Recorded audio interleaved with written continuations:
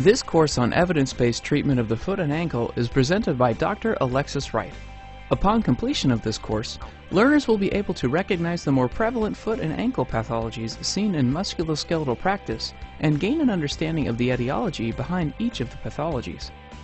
The concordant techniques used to target the primary impairment are explained, as well as the adjunctive techniques used to target the secondary contributors, and the techniques used to target global conditional issues. Talocrural and subtalar mobilizations and manipulations are demonstrated with the model.